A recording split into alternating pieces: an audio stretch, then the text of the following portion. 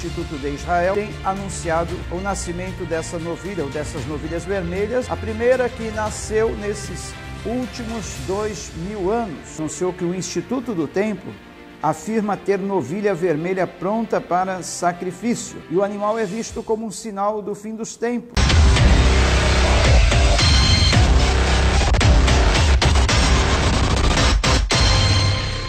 Olá, sejam todos bem-vindos ao seu canal Plenitude Net. Eu sou o pastor Jonas Leite Siqueira, trazendo mais um quadro, Os Fatos do Dia à luz da Palavra de Deus. E hoje um assunto bastante interessante, bastante palpitante, que tem chamado a atenção da mídia nos últimos dias.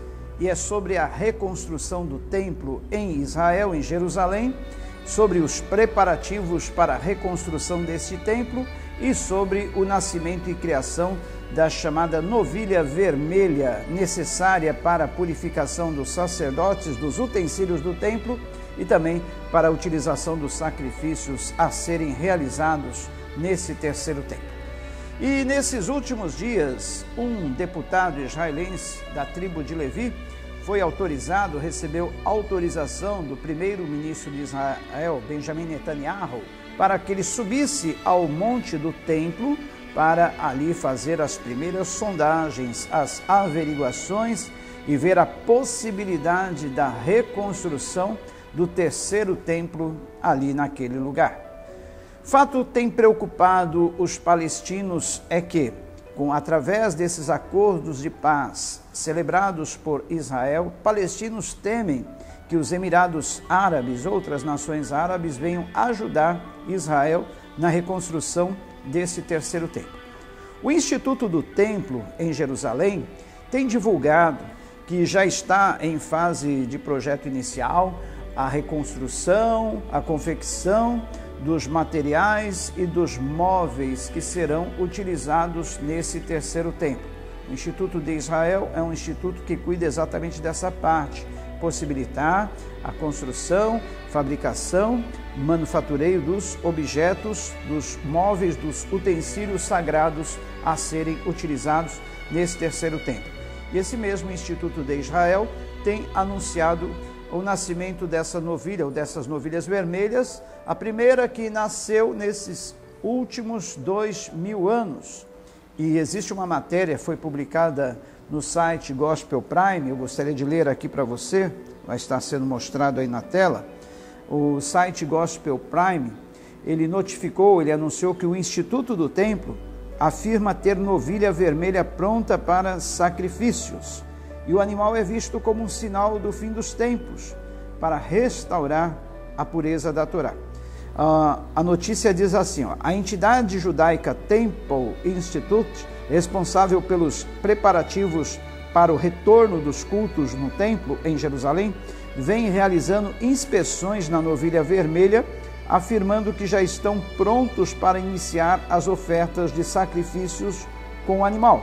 O instituto já possui duas novilhas totalmente vermelhas, cujo nascimento foi anunciado há dois anos após o início do projeto Raise a Red Heifer em Israel, uma novilha vermelha para Israel.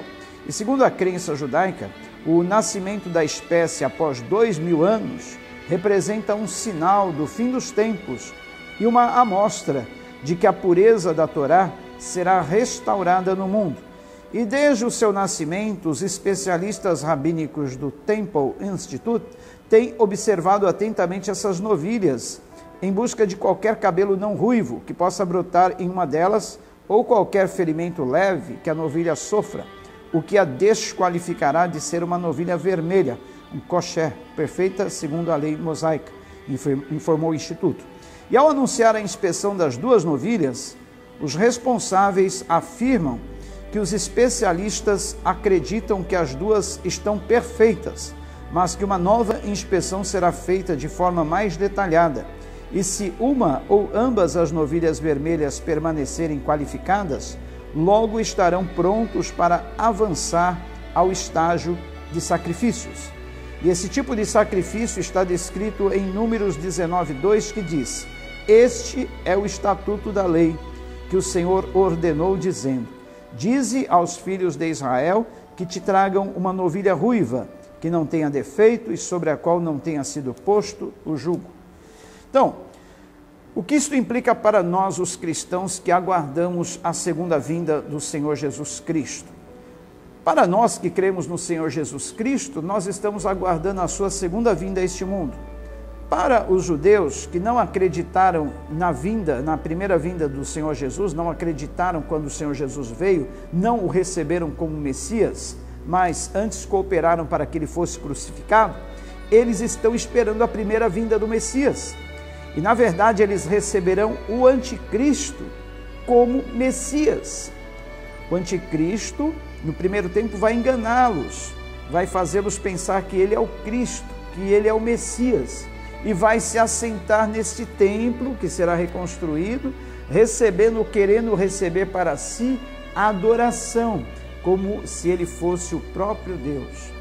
Então aí está, queridos o campo, o terreno sendo preparado para que o anticristo venha pisar os pés no templo e querer ser adorado como o próprio Deus. Ora, irmãos, rogamo-vos pela vinda de nosso Senhor Jesus Cristo e pela nossa reunião com Ele, que não vos movais facilmente do vosso entendimento, nem vos perturbeis, quer por espírito, quer por palavra, quer por epístola, como se de nós como de nós, se o dia de Cristo estivesse já perto. Ninguém de maneira alguma vos engane, porque não será assim sem que antes venha a apostasia e se manifeste o homem do pecado, filho da perdição, o qual se opõe e se levanta contra tudo que se chama Deus ou se adora, de sorte que se assentará como Deus no templo de Deus, querendo parecer Deus. Este fato da vinda do Senhor Jesus não acontecerá sem que antes venha o quê? A apostasia. Dois fatos: a apostasia, que é o esfriamento da fé, o afastamento das pessoas de Deus. Isso nós estamos vendo aí nesse atual mundo, as pessoas cada vez mais corrompidas, cada vez mais distantes de Deus, cada vez mais negando a fé. E o outro fato que apontará para a vinda do Senhor Jesus Cristo, que acontecerá antes que o Senhor Jesus Cristo venha, é a manifestação do homem do pecado, do filho da perdição, a manifestação do anticristo, o qual o texto aqui diz que ele se opõe e se levanta contra tudo que se chama Deus ou se adora, de sorte que se assentará como Deus no templo de Deus, querendo parecer Deus. Então, para que isso aconteça, esse terceiro templo tem que estar reconstruído, ou de uma forma a reconstrução material mesmo, ou de uma forma virtual, como nós temos falado num vídeo anterior, que esse terceiro templo pode ser um templo virtual, através de imagens holográficas, pode ser. Em algum ponto do vídeo você vai ver a indicação deste ou de outros vídeos falando sobre a volta de Cristo, falando sobre a reconstrução do terceiro templo, falando sobre o anticristo. Clica aí para você ser inteirado desses assuntos, tá bom? Então, a reconstrução desse terceiro templo possibilitará a manifestação do anticristo. E com o anticristo se manifestando, queridos, a volta do Senhor Jesus Cristo para nos buscar, para nos arrebatar, já estará então aí decretada. Estará decretado que ele venha, porque aí não haverá mais o que se esperar. Dois fatos são necessários para que Cristo venha estar acontecendo o arrebatamento da igreja. Dois fatos precisam acontecer antes, como eu já falei: a apostasia e a revelação, a manifestação do anticristo. E a reconstrução do terceiro templo tem tudo a ver com esse fato do anticristo se manifestar. Portanto, estejamos alertas com relação a tudo isso que está acontecendo. Preste bastante atenção nos próximos vídeos que estaremos aí mostrando para você, divulgando para você, porque certamente daqui para diante os fatos vão estar cada vez aí aproximando-se mais das, do cumprimento das profecias bíblicas. E é necessário que nós estejamos alertas, vigilantes, para que nós não venhamos a desatentos a esses sinais que estão acontecendo, ok? Então fica aí esse alerta para você. Preste bastante atenção nesses sinais que estão acontecendo. O mundo atual está clamando por alguém que venha trazer uma solução de paz para a humanidade, uma solução para os problemas. E principalmente agora que esta pandemia tem afetado o mundo, o mundo todo está clamando por alguém que venha trazer ordem nesse caos todo que se instaurou. Alguém que venha trazer uma solução para esse problema da saúde, alguém que venha trazer uma solução para os problemas econômicos, alguém que venha trazer uma solução para os conflitos políticos, abastecimento, enfim, alguém que venha botar ordem na casa. E esse é o momento ideal, o momento propício, o momento oportuno para que o anticristo venha se manifestar. E o cenário já está sendo preparado os sinais estão aí à mostra, os sinais estão visíveis para quem quiser ver. Então, que estejamos com isso preparados e ficamos atentos aos próximos sinais que com certeza nos próximos dias estarão aí bem desenhados à nossa frente e nós estaremos fazendo questão de estar divulgando isso para você. Fique atento aí, se inscreva no nosso canal, ative o sininho para receber informações de vídeos novos que nós fomos aí preparando para você e também esteja aí assistindo os vídeos que estão sendo sugeridos aí no canto superior, nos cantos superiores da tela, tá bom? Um forte abraço do seu amigo e irmão em Cristo, pastor Jonas Leite Siqueira. Até o próximo vídeo, se Deus assim o permitir.